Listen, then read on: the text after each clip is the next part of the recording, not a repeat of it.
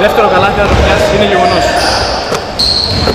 Οι νέοι παλέμαχοι Άρης και οι επίλεκτοι δημοσιογράφοι των κλάδων ενώνουν τις δυνάμεις. Σάββατο 8 Μαρτίου στις 7 θα πραγματοποιηθεί ο δεύτερος φιλανθρωπικός αγώνας. Τα έσοδα θα διατεθούν στο Σύλλογο Ατόμων με προβλήματα όραση και κλάδων. Σας περιμένουμε όλους να στηρίξετε την προσπάθειά μας.